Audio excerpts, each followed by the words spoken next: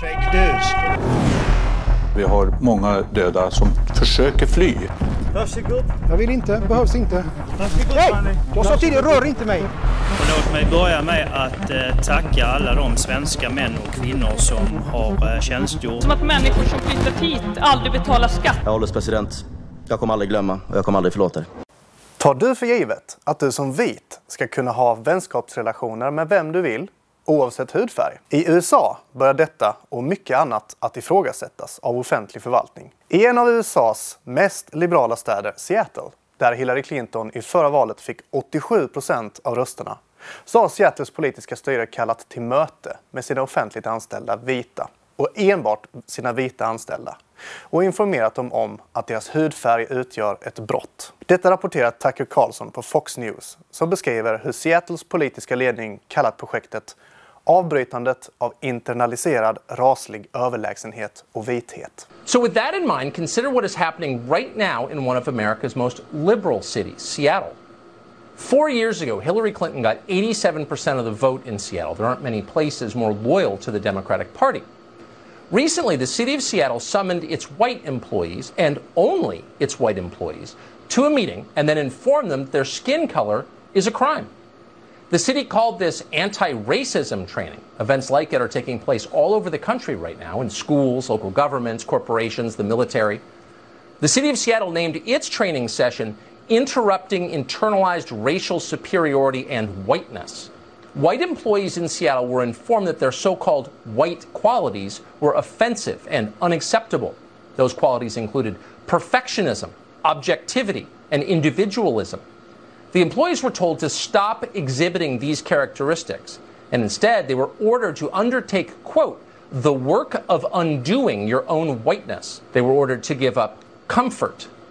They were ordered to give up spending time with their, their family. They were ordered to give up guaranteed physical safety, control over other people and the land, relationships with some other white people, niceties from neighbors and colleagues, and, quote, the certainty of your jobs. Ur de offentliga dokumenten från mötet framgår att de anställda informerades om att deras så kallade vita kvaliteter var stötande och oacceptabla. Bland dessa kvaliteter räknades perfektionism, objektivitet och individualism.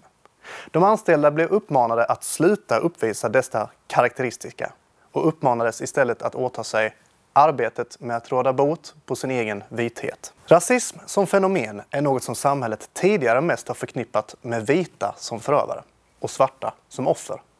Men de senaste decennierna har frågan om rasism mot vita blivit allt mer aktuellt. Av någon anledning verkar inte de orättvisor som riktas mot vita enbart på grund av deras hudfärg vara något som makthavarna uppfattar som rasism. Det tydligaste exemplet på detta borde vara det pågående lågintensiva folkmordet på boer i Sydafrika, som i stort sett ignoreras helt av världens ledare. Några av våra svenska politiker beskriver vårt land som en humanitär stormakt, men har konsekvent undvikit att tala om den humanitära katastrof som pågår i Sydafrika, där tusentals vita mördas varje år med tortyrliknande förtecken. Landets ledare har bland annat trätt fram och sjungit kampsånger där man sjunger om att döda vita.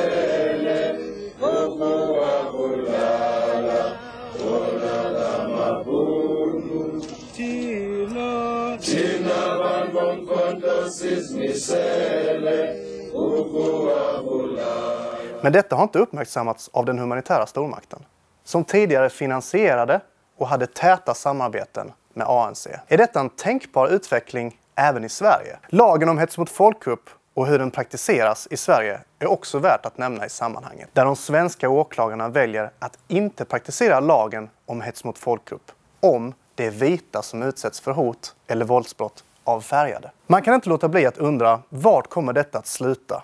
Om det i våra västliga länder blir allt mer tillåtet för makten att motarbeta vita människor. Kommer vita att behöva fly sina hemländer för att kunna leva i fred? Och i så fall, vart ska de fly? Vilket samhälle kommer vi att få om kampen mot rasism istället övergår till förföljelser mot vita baserat på den hudfärg de föddes med. Och är detta ett samhälle som du och dina barn vill leva och växa upp i? I lördags la vi upp en video där vi frågade svenskar om hur de ser på att bli minoritet i sitt eget land. Om ni missar det klippet kan ni se en länk här uppe till vänster i slutet av denna video eller länken i beskrivningen nedan. Tyvärr, men föga förvånande, gav de oss precis de inövade, hjärntvättade svar man kan förvänta sig i Sverige, vars mediala etablissemang är väldigt duktiga på att indoktrinera befolkningen. Till att börja med kunde de inte förstå, eller tro på, att Sveriges utveckling är på väg att göra att svenskar kommer hamna i minoritet i sitt eget land. Uh, jag, jag, vet inte om jag ska liksom tro på den riktigt, den vinklingen. Men om det nu skulle visa sig att det är så, det är väl helt okej. Okay. Det behövs egentligen ingen forskning för att förstå det. Det räcker med att veta att andelen av de utrikesfödda gått från 4% år 1960 till nästan 20 procent år 2019. Eller där andelen med utländsk bakgrund har ökat från 14,5 procent år 2000 till 25 procent idag. Fortsätter samma utveckling och det finns inga tecken på att den slutar är det en matematisk självklarhet att svenskar snart är i minoritet. Pew Research menade att andelen muslimer i Sverige, till exempel på grund av födelsetal och annat, kan vara i majoritet om ungefär 90 år i Sverige. Affes statistikblogg har gjort liknande djupdykningar i demografin. Här ser vi den faktiska utvecklingen av män i åldern 15 till 44 med utländsk bakgrund i Sveriges kommuner. Fram till 2018 så är det faktiska siffror och från 2018 så är det en prognos baserat på de senaste tio årens utveckling. Och historiskt sett är trenden väldigt tydlig. Vi har redan flera städer där över 50 procent har utländsk bakgrund och Malmö, Sveriges tredje största stad, är snart där. Men demografi är inte något som diskuteras i det mediala etablissemanget. Därför tror inte naiva svenskar att det kan hända. Trots att liknande hänt tidigare i historien. Libanon är ett exempel. För cirka 60 år sedan var det ett kristet land. Idag majoritet muslimsk. Det kan gå väldigt snabbt. Sen får vi höra en kavalkad av de här nyttiga idioterna som säger att det inte spelar någon roll om man är en minoritet eller att vi består alla av människor och andra floskler. Ja, en minoritet liksom, det betyder ju ingenting egentligen. Vi är ju människor allihopa och svenska medborgare så vad fan. Kör på det. Eh, så länge Sverige består av människor har jag inga problem med det. Anledningen till att de står och säger sådana saker är för att de har levt i en skyddad verkstad här i Sverige. Om man på fullaste allvar säger att vara minoritet inte spelar någon roll så har man en extremt naiv syn på världen. Det har knappast gått jättebra för minoriteter runt om i världen historiskt sett, inte minst i arabvärlden där de än idag jagas och dödas. Men svenskar vill inte gärna låta fakta komma i vägen för deras rosa, fluffiga drömmar. Det finns mycket att säga om naiviteten vi ser i klippet, men en slutlig poäng är den om var svenskar bor, eller kan tänka sig bo. Forskning och verkligheten talar sitt tydliga språk. Ingen vill ha integration. Ingen vill bo integrerat. Man vill bo med sina egna, lika barn leka bäst och allt det där. Det finns mängder av studier. Putnam, en av världens högst ansedda forskare inom samhällsvetenskapen, själv mångkulturalist, har visat detta. I en studie från bland annat 2007 kom man fram till att ju fler etniciteter det finns i ett samhälle, desto större misstro hyser man till varandra. I etniskt heterogena samhällen råder lägre förtroende för lokala politiker och medier, lägre tro på det egna inflytandet, lägre vålddeltagande, lägre benägenhet att delta i gemensamma projekt och lägre vilja att arbeta till exempel med väl välgörenhet. Vidare menar Putnam att människor i de här samhällena har färre vänner, upplever sämre livskvalitet och tillbringar mer tid framför TVn. I Sverige kan vi se i en doktorsavhandling från Linnéuniversitetet på något liknande. Svenskfödda invånare lämnar eller flyttar inte till ett område när befolkningen består av inte mer än 4% med utomeuropeisk bakgrund eller utomeuropeiskt födda. Mats Dahlberg vid Institutet för bostads och urbanforskning vid Uppsala universitet har studerat vad som händer med majoritetsbefolkningen i ett bostadsområde när andelen invandrare ökar. Och där var det 5% som räckte.